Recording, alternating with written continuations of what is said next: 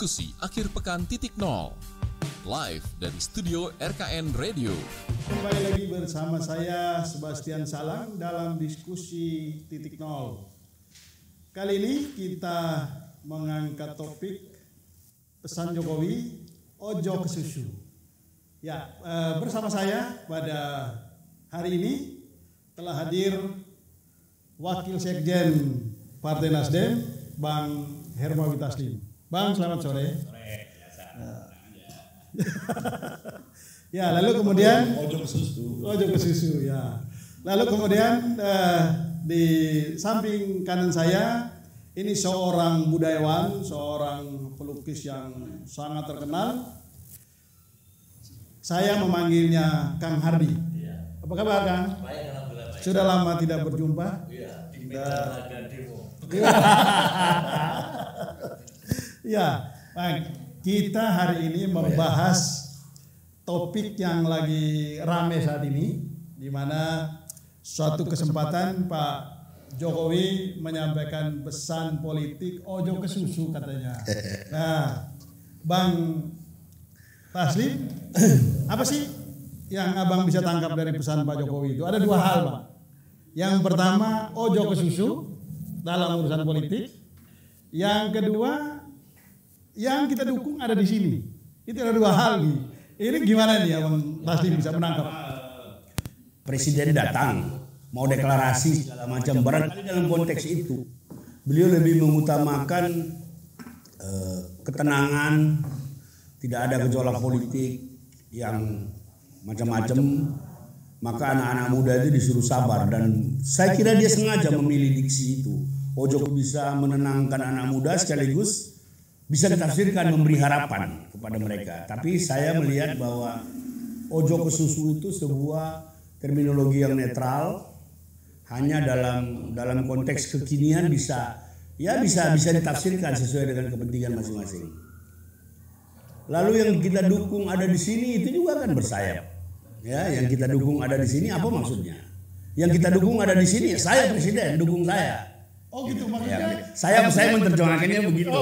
Saya menerjemahkannya begitu. Saya presiden dukung saya, kita dukung ada di sini. Tapi kan 2024. Ya, Pak Jokowi 2024. nggak main Betul. Atau masih menyimpan keinginan. Ya, ya saya cuma mau mengatakan presiden kita ini sangat cerdas dalam memainkan psikologi masyarakat seperti itu. Itu sebenarnya substansinya biasa-biasa saja, tetapi karena dalam situasi sedemikian rupa bisa ditafsirkan macam-macam dan memang eh, bahkan ada ya ada ada teman-teman personil, ada teman-teman person dari partai tertentu yang emosi, marah dan segala macam. Tetapi eh, pemaknaan ojo ke susu dan yang kita ada di sini menurut saya itu kalau kita kita tafsir kita cerna dalam ketenangan menurut saya itu biasa saja. kita nggak tahu minggu depan dia ke mana lagi dan akan bilang apa lagi gitu.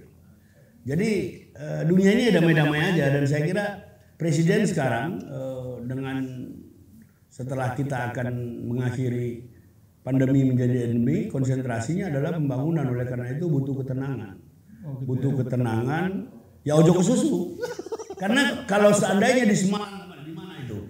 Ada deklarasi mau tidak mau beliau kan ikut terseret. Karena beliau ada di situ. Itu sebenarnya yang mau dihindari saya memaknainya seperti itu mas. Saya nggak tahu kalau ya saya nggak tahu nanti om Hardi Ya, ini Kang Hardi ini sebagai seorang eh, budayawan, seorang seniman, mesti kayaknya menangkap dan demoan juga. Demo dan menangkap ini kan ini kan pesan-pesan yang boleh dibilang ini simbol ini ya simbol eh, Jawa lah yang menangkap pesan itu sebagai sangat Jawa. ya. Itu. Nah kira-kira itu gimana kak?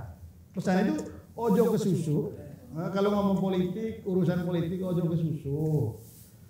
Meskipun yang kita dukung ada, Ada di sini, ya. itu kan semua bahasa bersayap yang macam-macam ditafsirkan tadi bang Basri bilang ada yang baperan juga tuh.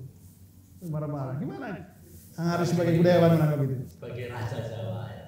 beliau menjadi raja Nusantara. Jadi perkataan ojo ke susu itu warning. Jadi jangan tergesa-gesa, jangan tergesa mencalonkan walaupun yang dicalonkan ada di dalam. Karena masih ada kuda hitam. Wes, ini Oh iya, iya, iya, iya. Cuma lain lagi. Jadi ojo ke susu meskipun yang kita dukung ada di sini. Karena Terus Karena masih ada kuda hitam. oh masih itu peringatan atau bahasa kebatinannya, bahasa Jawanya ya, politik Jawa itu sasmito. Sasmito itu memberikan warning atau tanda bahwa ini belum sempurna ini, makanya jangan tergesa-gesa kalian. Ojo ke susu. Ojo ke susu nanti nubruk-nubruk. Jadi nanti kalau tergesa-gesa sesuatu itu pengambilan decision akan kurang, ada kultur sosial yang harus dipelajari dan lain-lainnya nanti akan menjadi babak belur. Jadi menurut saya masih ada kuda hitam yang tersembunyi yang barangkali ini nanti yang justru jadi. Oh, Tinggal gitu. Tuhan, tafsir tinggal gitu. Tuhan ya. Oh, jadi jadi Kang Hardi menangkap atau membaca bahwa sebetulnya di balik hiruk-pikuk ini ini ada kuda kuda hitam Kuda ya hitam ya. yang masih tersembunyi gitu. Tersembunyi sekarang mulai disebut-sebut sedikit-sedikit. Wah, Tapi Wah, nah, iya. ini ini kalau kalau boleh disebut dan akan kalau disebut kira-kira siapa nih boleh dong dibocorkan Gini, kuda hitam. Eh, harusnya istana atau Bu Mega atau siapa? Ketua partai Muhaimin Iskandar nanggap mayang. Lakonnya Wahyu Makutoromo atau Wah Romonitis atau Wahyu Cakraningrat. Cakraningrat. Itu baru ketahuan kita bahwa orang yang kewahyon itu diem. Tidak nonjol-nonjol tidak berusuhan di pasar. Yang masih berusuhan di pasar bukan yang akan menerima wahyu ke Prabon karena panas Oh gitu. Iya, yang diem, yang slow sepertinya tidak ada kerjaan, tapi sebenarnya membangun basic, basic rohani. Oh, ini dalam ini. Dalam. Ini boleh boleh. Ini Jawa, ini ini. kalau bicara Jawa sopoy. Nah, kalau saya ya, Ya. kalau saya saya sudah lama ngintip ini, Ya, dia ya. itu calonnya dengan ketenangan. Bayangin ya, beliau ini foto di Google aja tidak ada yang bagus. Jadi terlalu low profile, yaitu Andika Perkasa. Ah, masuk tuh barangnya kan. Jadi Kalau Andika, Andika Perkasa nanti sudah pensiun, kemudian beliau berani menyatakan nanti Pak Surya Paloh dan yang lainnya akan dukung. Nasdem, kemudian P3, PKB, bahkan Bu Mega akan melepaskan diri juga. Wahyu Ratu, lah ini sek- Sekar Kedaton. Yang namanya Puan Maharani itu Sekar Kedaton, yang sekarang sudah dilakukan oleh Sultan Sinuwun Sultan Jogja. Jogja ya. kan itu eh, suksesinya nanti suksesornya nanti putrinya sendiri yang perempuan. yang menurut hukum adat kekeratonan itu tidak boleh, boleh. laki tapi kan beliau tidak punya putra tapi putri. Lah itu sudah warning itu sudah ada sekar kedaton harus ada Wahyu Prabon. Oh gitu ya. Nah, ini bukan paranormal gaya Pak Permadi ini analisa seorang budayawan lulusan Belanda Oh gitu. Iya, saya Yang berbasis budaya Jawa. Iya, iya. Nah, Kang, ini menarik. Di sini kan ada Nasdem. Iya. Oh, Nasdem pilih nanti. Nah, biasanya, biasanya kan itu eh, Nasdem itu punya kemampuan Iya. untuk mendahului partai-partai yang lain. Kira-kira menurut Kang Hardi, ini kalau ada kuda hitam, Iya. ini partai mana yang berani mencalonkan duluan? Nasdem. Oh malah Nasdem. Saya ini tusuk Nasdem yang lalu. Oh, Yang gitu? lalu. Iya, saya di YouTube saya juga saya sudah bilang. Karena Pak, Pak Surya Paloh itu basic kebudayaannya tinggi. Selalu upacara-upacara yang sekarang dilupakan. Oh gitu ya. Pak Surya Paloh selalu dengan pakai tari-tarian dan itu yang membuat saya terpesona dengan Pak Surya Paloh. Saya kenal dengan beliau pribadi. Oh gitu ya. Nah, kalau gitu saya ke ini batas nih. Ini, ini menurut bacaan filsafat Jawa, budaya Jawa, jadi kemungkinan Nasdem yang akan memunculkan itu pertama. Sama seperti dulu Pak Jokowi juga Nasdem kan yang dukung pertama ya. Itu gimana kira-kira? Gini, saya mau cerita eh, beberapa peristiwa dua hari eh, minggu ini. Hari Selasa dan sudah di Kompas TV juga hari Selasa malam Pak Surya eh, bertemu dengan Presiden di istana berdua. Biasanya setelah pertemuan itu kalau ada kalau ada hal-hal yang penting di share kepada staf kita dipanggil. Paginya hari Rabu itu ada pertemuan forum Pemret dengan Pak Surya. Jadi memang eh, kebetulan saya bertugas menemani beliau. Saya tanya dia bilang enggak ada enggak ada apa-apa. Pertemuan tadi malam itu murni silaturahmi karena waktu lebaran saya di luar negeri sudah lama tidak ketemu jadi ya saya saya ketemu lebaran. Itu satu. Waktu di forum Pemret Pak Surya mengatakan eh, ditanya bagaimana pandangannya tentang koalisi tiga partai, bagaimana pandangannya tentang nama-nama yang sudah disebut. Ini kan hampir semua partai punya calon ya. Muhaimin calon PKB, Puan calon PDIP, eh, Erlangga calon Golkar segala macam. Ditanya bagaimana, dia mengatakan eh, Nasdem tidak buru-buru. Ini sebelum sebelum eh, Pak Presiden mengatakan ojo ke susu satu hari sebelumnya Nasdem tidak buru-buru. Nanti tanggal 15 sampai tanggal 17 Juni di JHCC ada pertemuan besar namanya Rapat Kerja Nasional. Itu ada 7.000 kader yang bertemu dari seluruh Indonesia mulai dari tingkat ketua tingkat kecamatan sampai pusat. Masing-masing provinsi akan memasukkan sedikit-dikitnya tiga nama, sebanyak-banyaknya lima nama. Dari situ nanti steering komite, steering komite akan menyaringnya kembali menjadi tiga nama diserahkan kepada Pak Surya Paloh untuk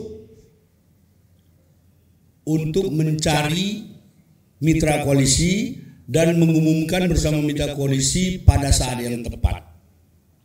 Jadi eh, dan nama yang dikatakan Pak Hardi tadi memang salah satu nama yang yang terus berputar. Nasdem ini sejak sejak awal berdirinya kan eh, salah satu basisnya kan survei. Survei menjadi perhatian tapi bukan satu-satunya. Nah, kita tahu juga di media sudah sudah muncul ada beberapa wilayah yang sebenarnya belum saatnya tapi sudah memunculkan misalnya Jogja Jogja itu sudah sebut sudah sebut beberapa nama termasuk Andika Sugeng Suprawoto Ketua Komisi 7 juga sudah bicara tentang itu. Jadi ya ini bergulir terus. Saya sepen, apa pun tafsirannya tapi saya sependapat dengan Ojo ke susu baik tafsirannya Pak Hardi akan muncul kuda hitam maupun perspektif saya yang tadi mengatakan itu lebih kepada perspektif ketenangan, kedamaian, tidak ada gejolak, anak-anak muda jangan buru-buru supaya nanti tidak menimbulkan kegaduhan politik. Nah kalau ditanya Nasdem ke mana ya belum. Karena nanti 17 Juni itu baru semalam baru kita akan serahkan ke Pak Surya. Kemudian Pak Surya bersama tentu bersama teman-teman bersama Sekjen akan terus membicarakan ini tetapi kita berharap yang paling penting dalam pertemuan kemarin itu Pemret yang diharapkan oleh Pak Surya dan Nasdem adalah kalau bisa proses pencalonan ini tidak dua lagi, tidak terjadi lagi polarisasi masyarakat yang begitu keras. Jadi ada poros baru, kita bisa hitung-hitung lah, kita bisa analisa sekarang, sehingga kalau tiga calon ya mungkin konstelasi tidak terlalu mengkristal seperti dulu. Yang kita harapkan apa pun yang terjadi, Indonesia hari ini harus ada jaminan Indonesia plural, Indonesia yang bineka, Indonesia yang majemuk harus tetap seperti itu ke depan. Itu itu taruhan apa pun yang kita harus lakukan. Bahkan Pak Surya bilang, kalau karena itu Nasdem harus berkorban, Nasdem siap berkorban. Wah, Jadi ke, ya. keindonesiaan, keindonesiaan, pluralisme, kebinekaan dan NKRI itu harus di atas di atas kepentingan partai-partai. Oke, demi Indonesia, demi Bhinneka Tunggal Ika, demi pluralisme, Nasdem siap berkorban. Nah, Mas, ada yang mengatakan pernyataan Pak Jokowi itu yang tadi saya bilang ojo ke susu pertama ojo ke susu meskipun yang kita calonkan ada di sini. Ada yang menafsirkan karena yang salah satu yang populer yang ada di situ pada saat itu adalah Pak Ganjar. Orang menafsirkan, oh ini Pak Jokowi memberi sinyal dukungan itu kepada Pak Ganjar. Lantas pertanyaannya, apakah pernyataan Pak Jokowi itu semacam mendahului keputusan Ibu Mega misalnya sebagai Ketua Umum Partai Demokrat. Dem Partai Demokrasi Indonesia Eh, eh, Perjuangan. Partai, sorry, Partai Demokrasi Indonesia Perjuangan (PDIP). Nah, Apakah ini akan menimbulkan dinamika politik tersendiri? Saya jawab ya. Saya jawab. Ya, jadi situasi Pak Jokowi sekarang berbeda dengan ketika situasi periode pertama.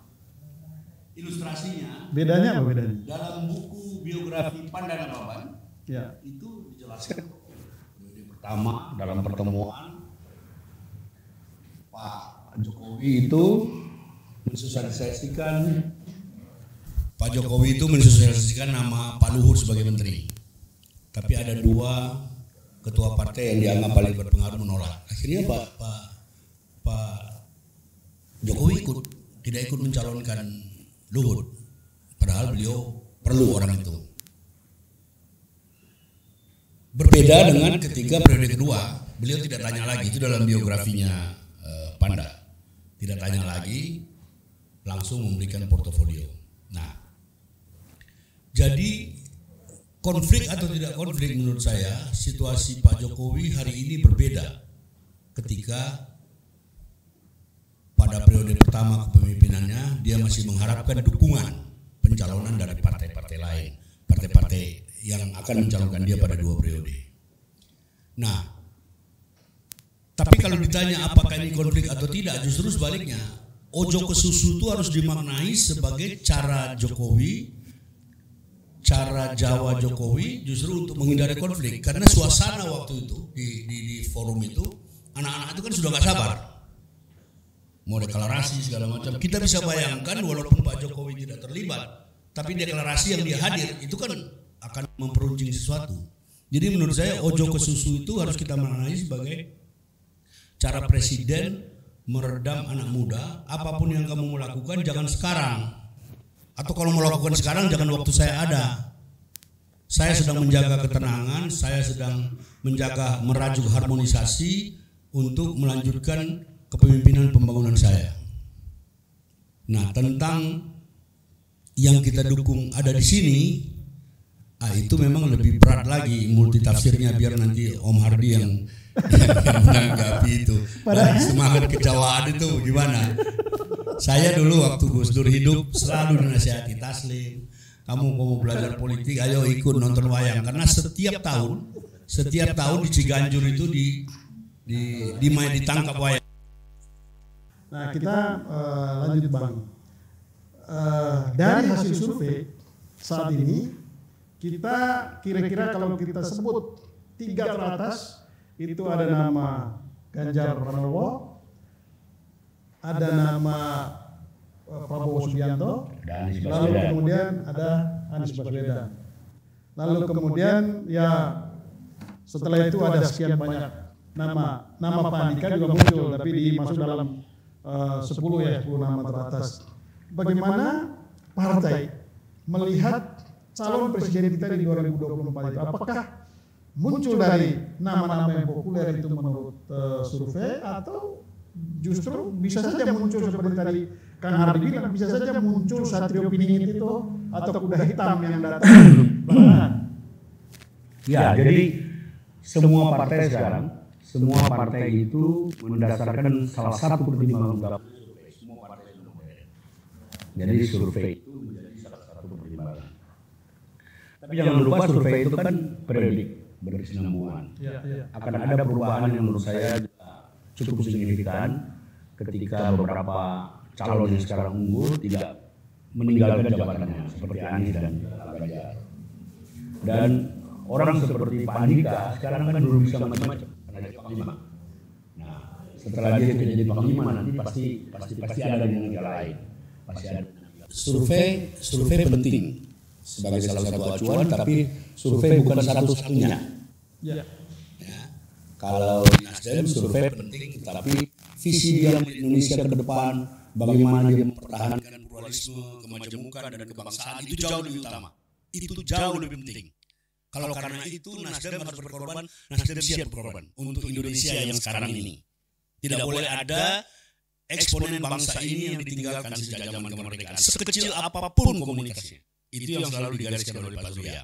Nah, oleh karena ini akan akan akan akan bergulir terus, akan bergulir terus dan kelompok-kelompok masyarakat ini akan terus mencari, mencari baik melalui survei maupun melalui berbagai cara. Sekarang medsos ini kan propagandanya juga kan gila-gilaan.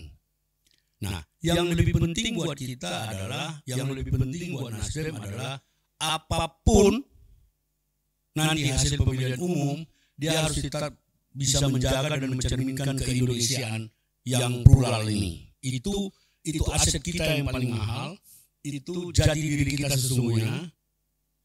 Dan untuk itu kita siap membayar apa pun untuk mempertahankan itu. Nah, kembali kepada calon presiden menurut saya ini akan terus bergulir, akan terus bergulir. Episode berikutnya adalah ketika nama-nama yang muncul tertinggi di survei ini nanti meninggalkan jabatannya, apakah mereka akan semakin leluasa ke daerah-daerah atau kehilangan hak protokolernya lalu menjadi tertinggal. Sebaliknya, kandidat-kandidat yang sudah mendeklarasikan diri, surveinya masih kecil, mereka kan tidak menyerah. Mereka punya partai kok. Punya partai walaupun ya walaupun walaupun surveinya kecil tapi dia ngomong terus. Kemudian ada yang ngomong mau ikut koalisi ini kalau dia jadi presiden. Jadi maksud saya ini akan terus terus bergulir tidak apa-apa dalam semangat tadi semangat kebangsaan semangat keindonesiaan yang utuh sebagaimana diwariskan oleh para pendahulu kita Sekarang sudah ada pendekatan yang lebih ilmiah, modern, untuk mengetahui elektabilitas, mengetahui popularitas gitu, dan akseptabilitas calon maka dibutuhkan survei. Lalu kemudian yang kedua tentu saja partai. Ya. Nah, kalau dari partai Pak Prabowo punya partai, Ya. ya. Lalu kemudian Pak Erlangga juga punya partai, bahkan sekarang sudah membentuk koalisi Indonesia Satu. Lalu kemudian Mbak Puan punya PDIP dan bisa maju sendiri dan bisa maju sendiri. Ya. Lalu kemudian eh, AHY, jangan lupa Demokrat Iya. itu punya partai. Dan ini akan akan menjadi pertimbangan tersendiri. Bagaimana abang melihat antara elektabilitas di satu sisi berdasarkan survei, lalu kemudian soal kepemilikan partai di sisi yang lain. Ya, jadi akhirnya akan karena politik ini adalah sebuah kompromi untuk kepentingan nasional akan akan terjadi kompromi-kompromi di mana akan muncul kesadaran baru orang yang punya partai karena eh, satu-satunya pintu untuk mencalonkan presiden itu hanya partai. Kalau di pilkada masih boleh independen. Ya, Ya. Akan muncul kesadaran nanti pada akhirnya, tidak tahu itu kapan, pada akhirnya waduh. Karena begini, ada kita sebut saja ada pimpinan partai yang elektabilitasnya begitu rendah, balionya makin banyak. Artinya dia makin bersemangat untuk mengejar ketertinggalan ini. Tapi itu kan nanti ada endingnya. Apakah nanti setelah dia mengejar ketertinggalan itu elektabilitasnya menjadi tinggi atau tetap di bawah? Ini ini proses kristalisasi pemikiran antara elit politik ini menjadi penting untuk kita cermati dan oleh karena itu masukan-masukan dari anggota partai, masukan-masukan dari masyarakat menjadi penting untuk memberi pencerahan. Sudahlah, kamu belum saatnya. Sekarang ini giliran si ini dan seterusnya kira-kira begitu. Sekarang ini kan yang tidak yang tidak punya yang tidak mencalon yang tidak pimpinan partai yang tidak mencalonkan diri kan hanya PAN, P3, Nasdem. Yang lain kan sudah punya semua. Itu maunya mereka. Tapi belum tentu juga ada perahu. Jadi misalnya sekarang ketua partai, ketua partai A ingin maju, sekarang an- anak buahnya diam, sekarang daerahnya diam. Kalau pada saatnya nanti ini kalau terus bertahan dengan sikap-sikap yang irasional akan terjadi konflik internal. Nah itu yang itu salah satu yang diperhatikan oleh Pak Jokowi. Itu harus dimaknai dengan ojo ke susu dalam arti luas, tidak hanya kepada projo.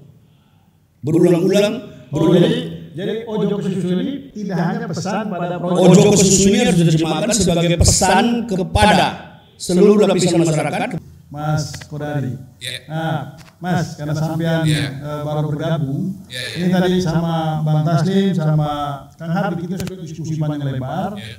Eh, nah sekarang kita pengen tahu dari hiruk pikuk politik menjelang 2024 ini bacaan Mas Kodari terkait dengan calon presiden 2024 ini bagaimana? Boleh nggak saya nanggapin ojok susunya Pak Jokowi? Oh, Saya gitu. sekali. boleh, boleh, ya. Boleh, boleh, boleh. boleh. Begini, eh, Pak Jokowi itu kan pidato. Nah, pidatonya Pak Jokowi ini lalu kemudian dikasih mana ya oleh para insan politik, oleh media, oleh masyarakat begitu. Ya. Nah, salah satu tafsir yang paling dominan kan bahwa Pak Jokowi itu sedang kasih sinyal kepada eh, masyarakat bahwa calon presiden eh, yang dia pilih atau dia dukung adalah Ganjar Pranowo kan begitu kan? Ya. Gitu. Tafsir umum. Salah satu tafsir Ya. gitu. Yang dominan, buat saya katakan dominan karena saya membaca di media kan ya bersemangat betul lah teman-teman saya seperti misalnya Joman gitu yang memang notabene sudah sudah men- mendeklarasikan Ganjar Pranowo presiden lah. Ya, ya, ya. Nah sebetulnya begini, ojo ke susu itu ya, ya ojo ke susu. Jadi jawaban itu ya susu sebetulnya, gitu ya. Eh, Oh, karena dia menafsirkan soal susu. Ya susu dia karena dia kan merasa bahwa tafsir dia itu satu-satunya yang benar gitu. Nah saya mau katakan begini, eh, pendukungnya Pak Jokowi itu bisa dikelompokkan dalam tiga kategori sesungguhnya. Eh, Secara garis besar ya. Pertama, pertama mereka yang katakanlah mendukung Ganjar Pranowo ya karena setelah Pak Jokowi selesai 2024 ya berarti ada calon presiden baru. gitu. Ada juga seperti saya gitu ya makanya ini saya banyak aktivis ya bukan bagian survei ya yang mendeklarasikan Jokowi Prabowo 2024 begitu. oh gitu. Nah, boleh dong saya mengatakan bahwa sesungguhnya pidato Pak Jokowi itu artinya bahwa ya calon yang akan kalian dukung itu ya saya gitu. Oh, jadi iya dong. justru menangkap sambungannya. Oh iya dong. Oh, kami semangat betul ini mendengar pidato itu. Susu meskipun calon yang kalian dukung Iya, ada nah ojo ke susunya itu kenapa? Ojo ke susunya ini karena ini undang-undang dasarnya belum diamandemen itu. Oh gitu. Iya. Artinya artinya tiga tiga periode masih Masih hidup. They're still alive and kicking. Ah, itu bahasanya. Jadi masih berharap nih. Masih berharap. Dan saya yakin setelah pidato Pak Jokowi ini, pendukungnya Pak Jokowi yang tiga periode itu, itu akan menggeliat luar biasa. Oh gitu. Akan menggeliat luar Ya biasa. mulai sore ini. Iya, kan begini. Saya kira yang semuanya bersepakat bahwa ini apa ya eh, tafsirnya satu adalah bahwa orang yang dimaksud itu kan ada di ruangan itu Iya, kan. iya, betul. Itu saya kira tafsir apa pun Mas Hardi itu sepakat itu gitu. Nggak mungkin ngomong misalnya Anies Baswedan kan Anies ada, ada di ruangan itu. Iya. Nggak mungkin mendukung ah ini penting nih buat Nasdem. Karena Nasdem itu sebagai pendukung Pak Jokowi, menolak itu tuh ketika mendukung Anies itu ada dua kemungkinan. Satu offside, yang kedua pura-pura aja dukung Anies. Oh gitu ya. Iya, iya. Nasdem ini itu genetiknya itu 99% itu sama dengan Projo. Oh gitu ya. Apa apa apa komando Pak Jokowi itu nanti nurut gitu loh. Hmm. Bisa aja kiri kanan, cuman Projo kan belum mengeluarkan pernyataan. Sementara Nasdem sudah menuju ke arah sana minimal daerah-daerah kan sudah nyebut nama ada Jawa Barat yang nyebut Anies, terus kemudian ada yang nyebut Andika, ada yang nyebut Erick Thohir, ada yang nyebut yang lain begitu. Oh jadi ini kembali ke kepada apa namanya pidato Pak Pak Jokowi. Di tempat itu tokoh yang hadir itu ada Pak Jokowi sendiri, ya ya betul. ada Ganjar Pranowo, ada KSP Muldoko. Saya langsung lagi ke Mas Kodari karena masih banyak yang mau disampaikan tadi. Mas tadi kita sudah bahas soal eh, kemungkinan tiga periode. Iya. Nah sekarang bacaan sampean kalau dari hasil-hasil survei ini kan ada beberapa nama yang berada tiga besar lah. Ada Ganjar, ada apa? Prabowo, ada Anies. Nah, menurut sampean apakah hanya sebatas itu atau bisa muncul kemungkinan lain? Nah di sini beda lagi saya dengan pengamat yang lain. Ya, bedanya gimana? Bedanya begini, orang melihat dari elektabilitas. Betul, elektabilitas penting. Tetapi kalau kita lihat undang-undang dan bicara realita politik, yang dijadikan dasar pencalonan itu bukan popularitas, tetapi persyaratan kursi. iya, seorang calon seberapapun populernya, kalau dia tidak didukung oleh calon oleh partai politik, maka dia tidak, tidak akan bisa maju karena dia tidak memenuhi persyaratan garis miring tiket. Gitu.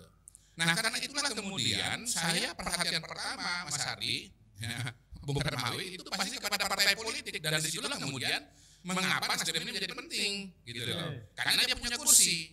Nah, kalau kita lihat kursi, maka kita ini ya kalau secara matematika ya syarat syarat 20 persen 100 itu bisa di, kalau dibagi 20 persen kan dapat 5 kan? Lima, ya. Masalahnya kan partai politik kita tidak berupa gumpalan yang sama besar. Ada gumpalan besar, ada gumpalan sedang, ada gumpalan kecil gitu loh.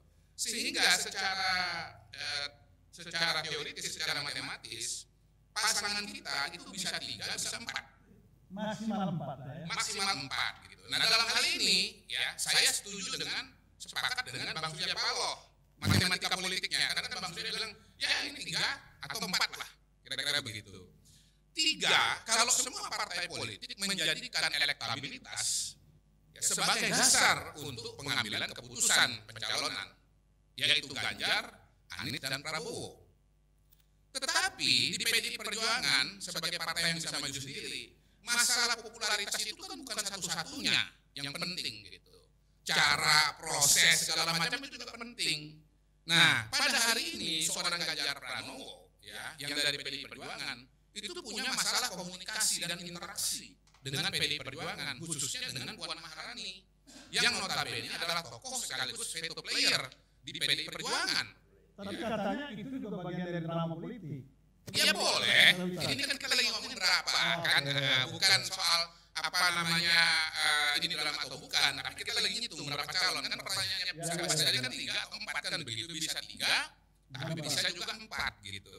Bisa Dan juga ada, dua. Hah? Bisa juga dua. bisa juga dua dan ada sejarahnya di mana PDI Perjuangan terutama di pilkada itu maju sendirian nggak bareng-bareng dengan yang lain contohnya pilkada di Jawa Barat gitu loh tadinya PDI Perjuangan arah-arahnya kepada Ridwan Kamil. Tapi karena PDI Perjuangan lambat mengambil keputusan PDI Perjuangan keburu diambil Nasdem kan gitu kan? Angot lah langsung kan gitu. Akhirnya apa? Nasdem dengan PKB maju mendorong eh, apa, eh, Ridwan Kamil. Akhirnya PDI Perjuangan ya nggak ada punya teman ada maju sendiri gitu loh. Dengan hasil yang yang sangat minimal artinya kalah gitu. Jadi jadi kalau menurut saya ini bisa tiga bisa empat lalu ada juga teman-teman PDI Perjuangan misalnya Bang Mohtar Muhammad yang membuat usulan pasangan Ganjar dengan Puan gitu Ya secara terkesan bisa, tapi kalau di lapangan saya ragu sekali bahwa misalnya Mbak Puan bersedia jadi wakilnya eh, Ganjar Pranowo begitu loh. Termasuk juga yang saya ragukan berat itu skenario dari Nasdem dengan segala hormat. Pasangan Anies Ganjar misalnya begitu. Saya nggak yakin itu bisa dilaksanakan. Dan bahwasanya kemudian teori bahwa itu bisa apa namanya bisa menyelesaikan masalah polarisasi ekstrim politik identitas itu nggak akan terjadi. Kenapa? Identitas dan polarisasi itu bukan diwakili oleh Ganjar dan Anies, bukan.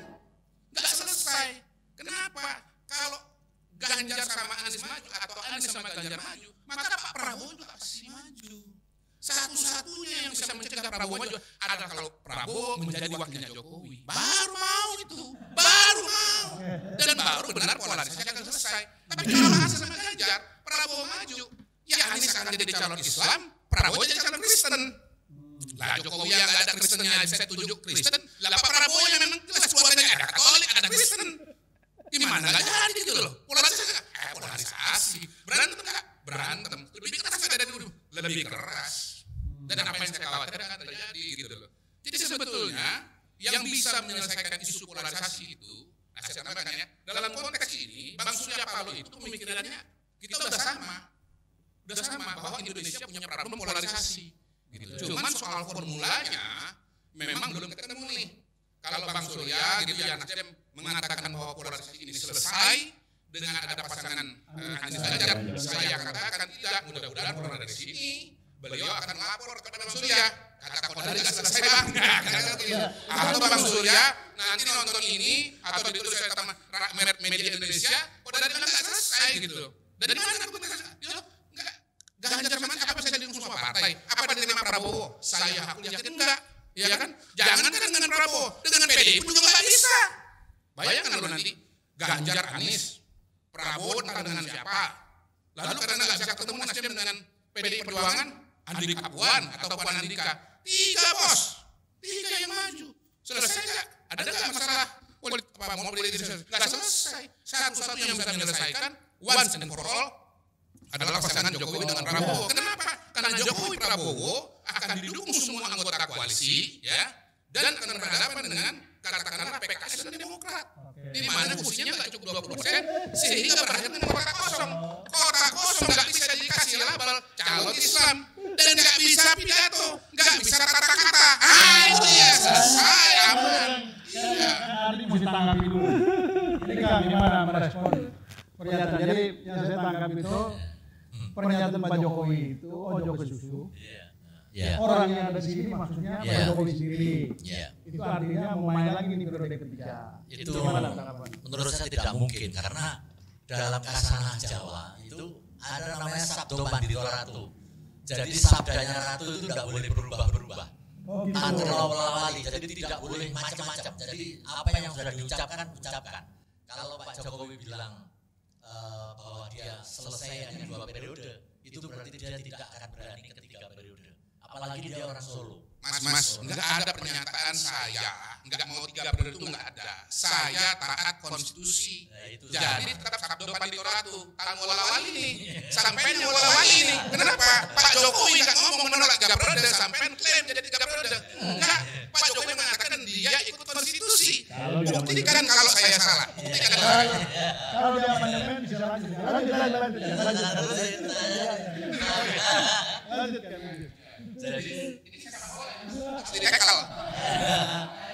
Jadi Pak Jokowi selama ini dia eh, selalu berpegang pada konsistensi. Misalkan eh, pendirian ibu kota Nusantara yang di Kalimantan itu walaupun banyak ejekan sinisme tapi dia berjalan terus. Dia orangnya Percaya, orangnya ya, percaya. konsisten. Ya lihat wajahnya kan begitu, memang begitu. Ciri-cirinya orang Jawa yang. Nah, sebetulnya Pak Bagian yang mana mas? Pengen tahu mas, bagian mana yang menunjukkan bahwa dia orang yang konsisten? Wajahnya itu apanya? nih? Ilmu ilmu apa? Turanggan, turang apa? Katurangan. Katurangan. Saya pernah melukis tiga kali Pak Jokowi dan saya hafal. Ya begitu itu. Iya, saya hafal. Eh, ya itu dia, dia yang dilakukan apa adanya, kemudian dia suka belusuan. Lah ini ditiru oleh Ganjar suka belusuan. Tidak laku itu loh. Tahun tahun tahun 2024 sudah tidak laku. Jadi itu Kang Hardi sudah pasti bahwa ini Pak Jokowi nggak pernah, nggak mau. Udah klise dari klise ke klise, saya mencalonkan atau meraba secara sasmito yang gaib, jadi secara gaib nanti munculnya Wahyu ke Prabon oleh Satrio Piningit. Siapa Satrio Piningit? Ya Andika Perkasa namanya aja sudah itu didesain iya sudah dibikin dari sononya dia yang akan memimpin Indonesia dan inilah yang akan menghindari Indonesia dari invasi seperti kasus Ukraina dan Rusia. Jadi ini orang seperti Andika Perkasa ini yang sangat eh, galan, yang sangat gentleman kelihatannya dan dia tidak ada bicara banyak. Karena apa? Karena Wahyu memang tidak boleh bicara banyak. Kalau bicara banyak nanti jadi Lesmono Mondoro anaknya Duryudono. Jadi ini personifikasi dari Ongko Wijoyo, dari anaknya Arjuna. Dia diem aja, dia nanti melakukan step by step secara kultural. Sekarang sudah dimulai dengan dia pakaian daerah, kemudian dia suat ke NU. Itu sudah, Sudah ya? sinyal itu. Oh, sinyal ya? Tidak mungkin suat ke NU terus hanya untuk mohon maaf lahir batin, minimal izin, bapak izin, tidak ada. Itu gerakan politik dan itu oke menurut saya. Jadi Pak Andika Perkasa on the track yang akan menggugurkan tesis dari Mas Yudhoyono. Nah ini kita ke kita ke Bang Taslim. Jadi ini ada ada dua hal nih Bang Taslim. Ya. Tadi soal tiga periode itu. Lalu kemudian yang kedua ini biasanya kalau PDIP terlambat mengambil keputusan biasanya Nasdem duluan mengambil keputusan. Itu bagaimana? Ya, jadi eh, saya mau tanggapi yang terakhir memang karena Pak Kodali ini periset banyak sekali di pilkada PDIP itu tampil sendiri. Artinya bupati dan wakil bupati, wali kota dan wakil wali kota, gubernur dan wakil wali kota.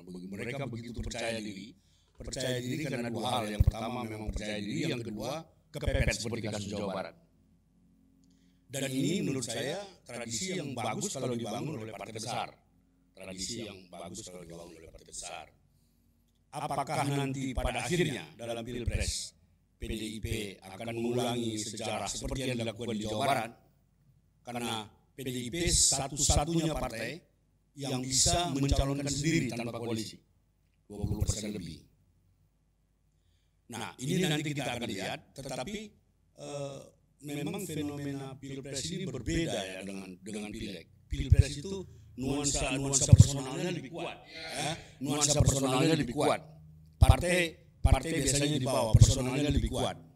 Nah saya tidak mau menanggapi apa soal tiga periode yang kudari. Kalau di kita partai politik itu sudah tutup buku, sudah tutup buku. Tiga periode sudah sudah sudah sudah finish. Nah kembali ke lengser ke Prabowo itu memang karena ini yang bicara presiden bisa ditafsirkan macam-macam, termasuk tadi yang dikatakan oleh Pak Kudori. Ojok susu yang kita pilih ada di sini. ya saya itu itu bisa saja itu itu sah saja. Tapi yang saya ingin katakan adalah masih ada satu periode yang kita harus perhatikan terutama oleh lembaga survei ketika calon-calon yang unggul dalam survei ini nanti eh, berakhir masa jabatan pemerintahannya. apakah eh, Ganjar dan Anies akan menjadi semakin tinggi elektabilitasnya karena leluasa ke daerah-daerah atau karena mereka kehilangan hak protokoler lalu menjadi menurun. Begitu juga Andika kita akan lihat nanti setelah dia pensiun karena sekarang kan eh, karena sekarang kan ya belum belum bisa apa-apa. Benar tadi baik apa Kang Hardi maupun eh, apa namanya eh, Kodari nama Ganjar itu eh, nama nama Andika memang sudah disebut oleh beberapa daerah bahkan hasil survei. Jogja itu menurunkan hasil survei di antaranya mengunggulkan Andika. Nah kita lihat saja proses tapi yang paling penting seperti dipesankan oleh Pak Surya tugas kita sebagai anak bangsa adalah semakin memperkecil polarisasi. Mungkin tawaran yang diajukan oleh Nasdem yang kemarin terbit di di harian Investor Daily apa yang berita satu itu. tidak tidak tidak, tidak mungkin menyelesaikan semua polarisasi tapi itu bisa mengurangi polarisasi. Inti dari pesan Pak Surya Paloh adalah sedapat mungkin kita hindari dua calon. supaya masyarakat tidak berhadapan-hadapan. Kita juga trauma sidang-sidang di MK, kami sidang di MK ketika gugatan Pak Prabowo terhadap Pak Jokowi itu kita pulang jam 3, kita dijagain, ditungguin. Di atas bus pun kita masih dikejar. Siapa yang kejar itu? Belum tentu juga. Belum tentu juga orang yang marah dan kalah, bisa saja pihak lain. Jadi dalam masyarakat yang plural, pesan yang ingin disampaikan Pak Jokowi adalah sedapat mungkin kita semakin memperkecil polarisasi, memperkecil polarisasi, karena semangat kebangsaan kita, semangat pluralisme kita, semangat keindonesiaan kita di atas kepentingan termasuk di atas kepentingan partai-partai politik. Saya kira itu. Jadi sosok yang disebut bisa memperkecil polarisasi tadi betul yang Iya, jadi ini eh, itu itu kan eh, itu kan eh, kristalisasi dari dialog dialog Pak Surya Paloh dengan eh, forum Pemret. Forum Pemret hari Rabu kemarin. Hari Rabu kemarin ada pertanyaan begini bagaimana akhirnya ada wartawan yang bertanya kalau begitu bagaimana kalau eh, Ganjar Anies itu yang bag- itu yang bagus kata Pak Surya.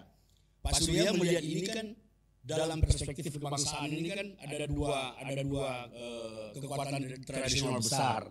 Kalau ini kalau ini bisa menyatu mungkin bisa menyelesaikan sebagian persoalan. Bahwa kemudian muncul seperti tadi anasirnya Kodari itu mungkin saja. Tetapi maksud saya kita sebagai anak bangsa dalam pandangan-pandangan positif masing-masing kita selalu berusaha untuk memperhitungkan kekuatan-kekuatan besar di Republik ini harus diakomodir. Tidak bisa hidup sendiri. Siapa pun tidak bisa hidup sendiri di Republik ini. Harus memperhitungkan orang lain. Ada kelompok lain. Ada masyarakat lain yang berbeda dengan kita. Dan mereka adalah juga bangsa Indonesia yang harus bersama-sama membangun bangsa ini. Itu itu eh, itu kan respon Pak Surya dari pertanyaan saya lupa siapa namanya. apa Syaan atau siapa begitu? Saya lupa. Tetapi eh, itu salah satu eh, formula yang barangkali ditawarkan dan itu memang tidak mudah. Itu tidak mudah. membuat mereka siapa yang menjadi nomor satu nomor dua saja itu tidak mudah. Karena dari aspek elektabilitas yang sekarang diagung-agungkan oleh masyarakat, mereka sudah kejar mengejar. Dia mengakukan lembaga survei. Di- Diagung-agungkan oleh masyarakat berdasarkan hasil lembaga survei kan gitu. dalam skala nasional oleh media itu cuma satu yakni gubernur DKI Jakarta gubernur DKI Jakarta ya karena itu jangan main-main kalaupun misalnya nanti ada kuda hitam saya ulang ya kalau nanti ada kuda hitam Ulang sekali, tiga kali. Kalau nanti ada kuda hitam, dia bukan bukan Andika Perkasa. Bukan Andika Perkasa. Karena Andika Perkasa pada bulan November akan pensiun. Bapak lihat, Bapak sekarang masih lihat nggak fotonya Hadi siapa mana? Panglima ini? Namanya aja udah mikir saya. Hadi yang kemarin antara dulu yang sebelum ini. Jadi Panglima TNI itu termasuk para pangdam-pangdam itu itu dalam era modern sekarang enggak era era reformasi itu enggak kayak zaman Pak Harto. Wah memang megah banget. gagah banget. sekarang ini ah, ya rotasi biasa. Tapi kalau ada niat kan bisa di loh kalau soal niat enggak segampang itu bung. Bung udah lihat Pak Mbak Puan Maharani kurang apa sosialisasinya? infrastrukturnya kurang apa? naik enggak naik. Ya Pak Erlangga enggak mudah juga. ya kan? infrastruktur yang menjalankan adalah partai besar. Naik nggak? Jadi kalau ada ada kuda hitam ke depan itu, itu kemungkinan adalah gubernur Jakarta berikutnya. Walaupun walaupun ini belum tentu sama dengan Pak Jokowi. Karena Pak Jokowi sebetulnya naiknya itu bukan pada saat dia jadi gubernur Jakarta. Dia mulai naik itu ketika ada pilkada DKI Jakarta. Ada pertarungan di sana. Orang mulai kenal dengan nama dia, orang mulai kenal dengan profil dia. Orang bisa melihat katuranggannya, seperti Pak Hadi. Ya dengan cara awam kan begitu kan?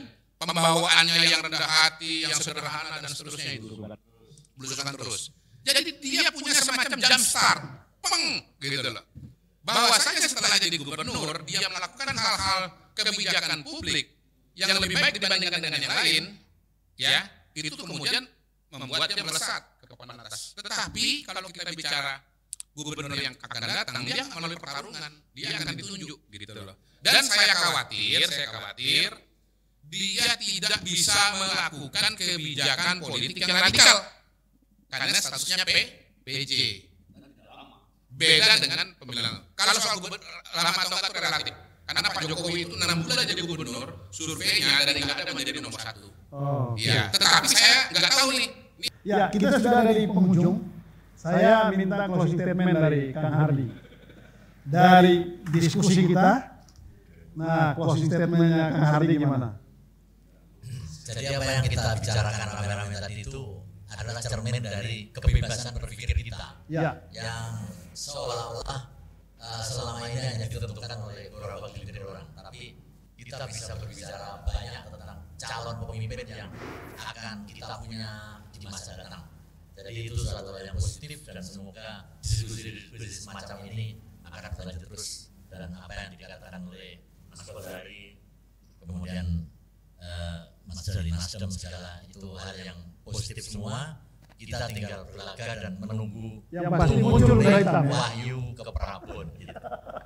Oke, Nah, sekarang gagasan, gagasan Anies Ganjar, gagasan Jokowi Prabowo, gagasan eh, gaga- gagasan Ganjar GP Mania misalnya, kita nggak tahu nanti seperti apa. Ya kita lihat aja nanti. Nah, masing-masing nanti kalau sudah kemudian mengerucut, ya jangan jangan ojo nesu kan begitu kan? Saya ojo nesu juga ojo nesu. Oke. Kalau nanti keputusan diambil dari terima. Terakhir, terakhir bang, ini kan bukan TV. Oh iya iya. Ini kan kesalahan sendiri kan? Apa nih? Media baru nih, media baru ini. Tidak ada orang Iya. Sampai besok bisa. Tinggal ngomong lanjut. kan gitu. Lanjut. Yang kedua, Republik ini harus kita sangat jaga. Nah, saya di sini saya sa- yakin sama lagi dengan Bang Hardi ya. Republik ini kita jaga demikian rupa. Nah, pilar Republik ini ada dua, nasionalis dan Islam moderat. Saya ulangi, nasionalis dan Islam moderat. Tiga kali, nasionalis dan. Oke, ini slogannya begini simbolnya. Nah, pilar utama, pilar utama nasionalis itu adalah, mohon maaf nih Bang ya, suka nggak suka ya, PDI Perjuangan. Kalau salah strategi ini PDI Perjuangan 2024, bukan cuma kalah pileg, bukan cuma kalah pilpres, tetapi taruhannya adalah nasib bangsa dan negara ini ke depan. Kenapa? Karena ada sekarang ini ada kelompok-kelompok yang ingin membuat republik kita ini berwarna lain. Berwarna lain. Dan kalau warna lain itu mendominasi, saya khawatir republik ini pecah. ini hilang, ini hilang. Iya. Sehingga jangan sampai salah ambil keputusan. Kalau Mas Ganjar maju, Mbak Puan maju, saya yakin pileknya kalah, pilpresnya kalah. Kenapa? Itu Jawa Tengah, adu banteng. Adu banteng, separuh suara nanti kepada Gajah, separuh suara katakanlah kepada Puan. Ngomong-ngomong soal Andika Bang, antara Andika Puan kemarin saya katakan lebih mungkin Puan Andika. Makin jauh deh. Boro-boro maju dengan presiden lain, ya. Dari partainya sendiri pun itu belum tentu. Kalau partainya itu dianggap adalah PDI Perjuangan kan begitu kan? Karena ada Pak di situ misalnya. Jadi buat saya PDI Perjuangan harus sangat hati-hati 2024 ini jauh lebih strategis dibandingkan dengan sebelum-sebelumnya ya. Pertaruhannya bukan cuma sekedar kemenangan pemilu legislatif dan pemilu presiden, tetapi nasib bangsa dan negara Republik Indonesia. Terima kasih. Ah, terima kasih. Ini luar biasa. Tepuk tangan dulu para narasumber kita. Jadi kita ke, ke, ketemu lagi nanti dalam diskusi titik nol berikutnya. Sampai jumpa. Diskusi akhir pekan titik nol. Live dari studio RKN Radio.